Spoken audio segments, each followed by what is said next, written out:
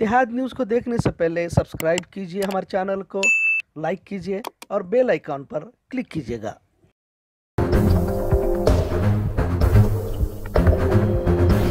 السلام علیکم رحمۃ اللہ وبرکاتہ۔ اتحاد نیوز میں آپ سبھی کا خیر مقدم ہے۔ مولانا خلیل الرحمن سجاد نمانی صاحب ایک ایسی شخصیت جو حق بولنے سے نہیں کتراتی ایک ایسی شخصیت جو ملک و ملت کے مسائل پر بے باکی سے اپنی رائے رکھتی ہے۔ مولانا سجاد نمانی آج کے اس دور میں اگر امید کی کرن کہا جائے تو غلط نہ ہوگا۔ انہوں نے جب بھی کسی مسئلے پر بات رکھنے کی کوشش کی تو کبھی یہ نہیں دیکھا کہ اقتدار پر کتنا طاقتور انسان بیٹھا ہے۔ مسلم معاشرے کی پستی پر مایوس بھی ان کے چہرے سے چھلکتی ہے۔ بیانات میں ہونے والی بھیڑ پر بھی انہوں نے اکثر طنز کرتے ہوئے کہا کہ محض بیانات کو سننے سے کوئی انقلاب برپا نہیں ہوتا۔ آنے والا وقت بھی کتنا خطرناک ہے، اس پر بھی بارہا بیدار کرنے کی کوشش مولانا سجاد نمانی کرتے رہے۔ مولانا کی پیدائش بارہ اگست انیس سو پچپن میں ہوئی۔ تعلیم ندوت العلوم اور مدینہ اسلامک یونیورسٹی سے کی۔ معاشرے کو کس قدر بیدار کیا جائے، اس پر ہمیشہ ان کی کوشش اور جد و جہد کی ہے۔ مخصوص دینی دائرے بنا کر دین کو محدود دائروں میں جکھڑنے کی بھی مخ مخالفت رہے۔ حق بولنا اور دین کی سربلندی کے لیے کوشاں رہنا، یہی ان کا مقصد ہے۔ انسانیت کے لیے جد و جہد کرتے ہوئے جھوٹ، فریب، دھوکہ دینے سے بچنے کی ہمیشہ تلقین کرتے مولانا دیکھا جاتا ہے۔ دنیا کے اسلامی اسکالرس میں مولانا سجاد نمانی کا نام لیا جاتا ہے۔ مختلف مسائل پر، خاص کر تین طلاق mob lynching C A A N R C موجودہ کسانوں کے کالے قانون پر بے باک رائے رکھتے ہوئے مودی حکومت کی پرزور مخالفت کی ہے۔ اور مظلوموں کی آواز بن کر اٹھے ہیں۔ امت کا بڑا طبقہ، عیش پرستی کے عادی ہے۔ اور انقلابی فکر نہ ہونے پر بھی مولانا کچھ حد تک بیزار نظر آتے ہیں۔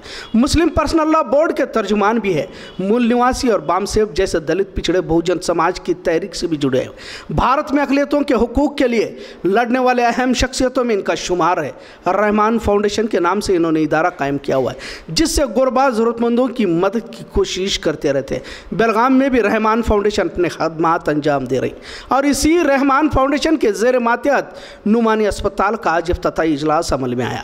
خلیل الرحمن مولانا سجاد نمانی کے ہاتھوں اس اسپتال کی افتتاح آج صبح سباش نگر میں عمل میں آئی۔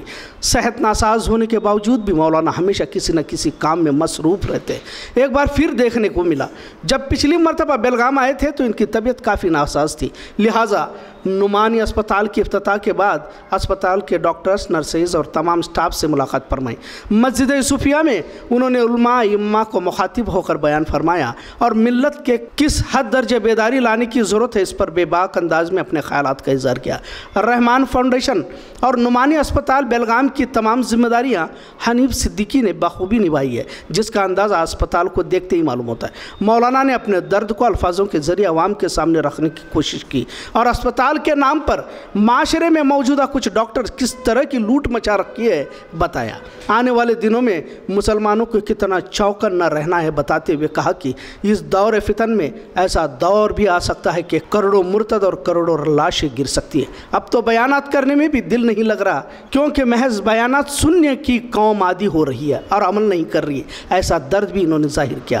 انجمن ہال میں ایک اور اجلاس مخصوص لوگوں کا، جس میں ڈاکٹرز، انجینئر، صحافی کا رقص رکھا ہوا ہے، جس کی تمام تفصیلات اتحاد نیوز پر کل شائع ہوں گی۔